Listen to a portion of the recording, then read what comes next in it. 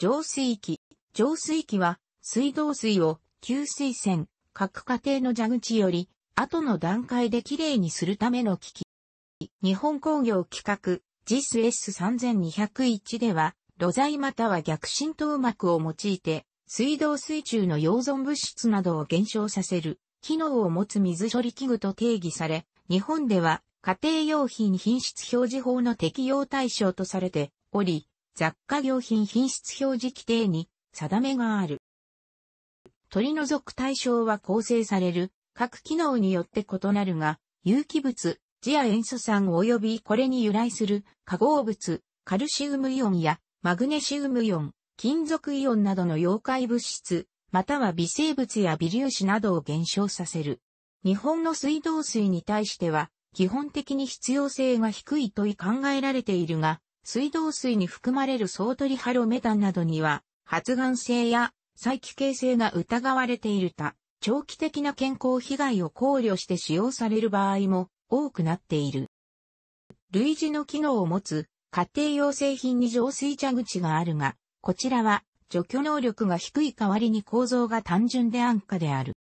日本の水道水には水道法の定めにより必ず次や塩素酸が給水栓、例えば各家庭の蛇口の時点で残留するように添加されている残留塩素の項を参照。このためウイルスや大腸菌をはじめとする有害な微生物、有機物などは混入していてもすでに無害化されているはずであり、本来浄水器で取り除くべき対象とは言えない。万が一混入しているとすれば、集合住宅、マンションなどで清掃など、きちんと管理、メンテナンスされていない、貯水槽、給水タンクの存在や、給水管の腐食劣化などの汚染源があるためであ、これを取り除くことが先決である。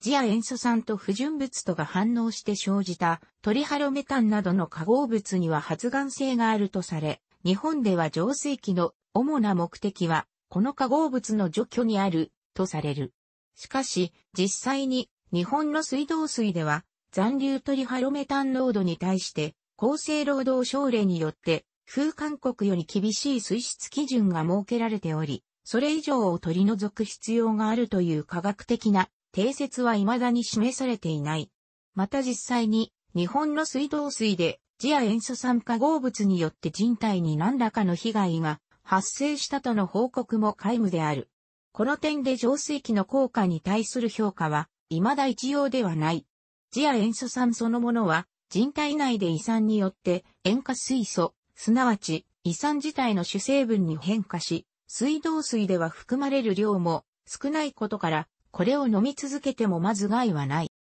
クリプトスポリジウムなどジア塩素酸に強い一部の研究は、1996年に埼玉県入間郡小瀬町で発生した水道水による集団感染をきっかけに注目され、浄水器の普及を促す要因の一つとなった。しかしその後、全国の浄水場で厳重に対する管理、濁度0.1度以下が徹底されるようになったため、最近の日本の水道水ではまず混入はないと考えられる。河川水中に生育する一部の藻類や菌類によって生じるゲオスミンなどの物質は浄水場のジア塩素酸処理で除去しきれずに水道水に混入することがあり、人間の花はこの匂いに鋭敏で、いわゆるカビ臭として認識されるため、これを取り除くことも浄水器の目的とされる。ただ、こうした物質は、水道水に含まれる程度の量ではまず人体に無害であり、また最近では浄水場でオゾン処理などのカビ臭対策が普及してきているため、問題にされることは少なくなってきている。他に、水道水には、水道管や貯水槽、給水タンクが古くなって劣化することなどにより金属などの不純物、錆などが混じっていることがあり、これらを取り除くことも浄水器の目的とされる。また、開発途上国などで水道水の殺菌や不純物の除去が不完全である場合は、それぞれの水質に適した機能を持つ浄水器が要求される。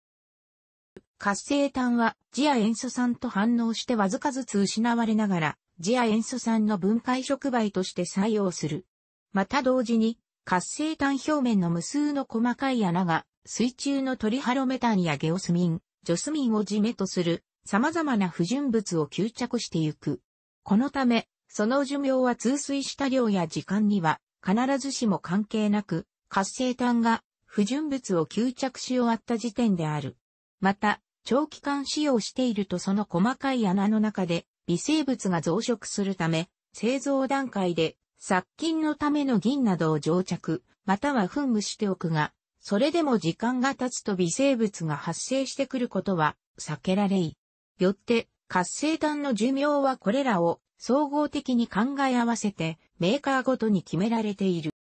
逆浸透膜は水分子だけを透過させ、その他の物質のほとんどを表面及び内部をも使って阻止して濃縮水として排出する。使用中に膜の表面が不純物で覆われてくることと、特定の金属イオンなど膜を劣化させる物質、膜の素材により異なるが流入することによって、次第に処理水量やイオンの阻止率が低下してくるが、その寿命は使用水圧や水質、水温などによって大きく異なるため一概には言えない。実際に使用する場合は寿命を伸ばす目的で、最初に素処理のフィルター、次に中間処理として活性炭を通し、最終処理として逆浸透膜を使うのが一般的である。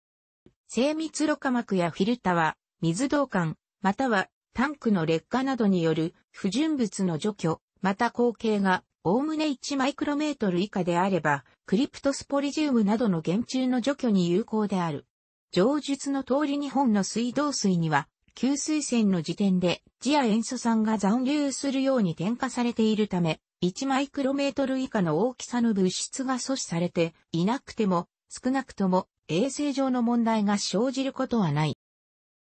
日本では少ないが、浄水器でイオンの除去にイオン交換樹脂を使う場合もあり、これをイオン交換式純水器、または単に純水器と呼ぶ。イオン交換樹脂には非イオン交換樹脂、自身が持つ水素イオンを水中の非イオンと置き換えると、影イオン交換樹脂、自身が持つ水酸化物イオンを水中の影イオンと置き換えるとがあり、水素イオン、または水酸化物イオンが放出され終わると、イオン交換樹脂を交換、または強酸や強アルカリを使った再生が必要になる。ただし、イオン交換樹脂には原則として、イオン以外の微生物や有機物、金属などを阻止する能力はないので、注意が必要である。イオン交換式純水器に似たものとして、軟水器があるが、これは水中のカルシウムイオンやマグネシウムイオンなど非イオンをナトリウムイオンに置き換える影イオンは変化しないものであり、再生が食塩水で簡単に行えて安全性が高く環境負荷も低い反面、水中のイオンの総量を変えるものではないことに留意する必要がある。アルカリイオン性水器については、アルカリイオン水の項を参照されたい。殺菌灯は紫外線を照射することで殺菌を行う。以前はランプの交換が必要であったためランニングコストが高かったが、現在は長寿命の紫外線 LED を採用する浄水器も登場している。米国規格に NSF ANSI 55があり、アムウェイやウォーターロジェックなどの米国メーカーがそれに適合する浄水器を販売している。利用方法は水道の蛇口に取り付けるものが多いが、中には屋内配管に組み込むものもある。ビルトインタイプ。ビルトインタイプはシステムキッチンに組み込まれて、メインの水道線の他に浄水用の水道線を持つものが多いアンダーシンク型。フィルタ部分をシンクの下に組み込むことができるので、フィルタを大きくでき、交換間隔を減らせるというメリットがある。汲み置きができるポット型や、災害用のものにはストロー型もある。製品によっては、アルカリイオン水を生成できるもの、アルカリイオン水生成器や大腸菌などの有害菌や鉛などの重金属も除去できる性能を有するものもある。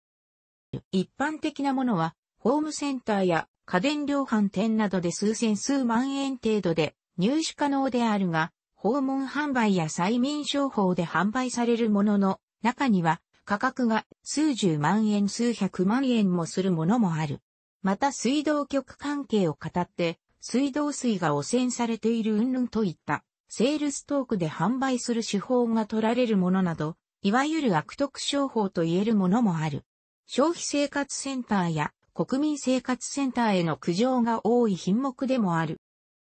アイウェイを順、楽しくご覧になりましたら、購読と良いです。クリックしてください。